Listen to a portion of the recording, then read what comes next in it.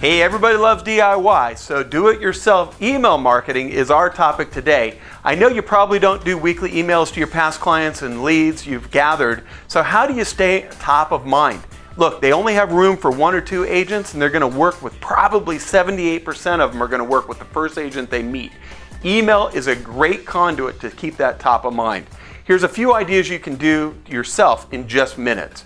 Number one, create an email campaign focusing on your niche what makes you different and what makes them like you. Number two, create a weekly email newsletter. Number three, work with local businesses to grow brand in an email offer. That way they keep it around so they get a discount.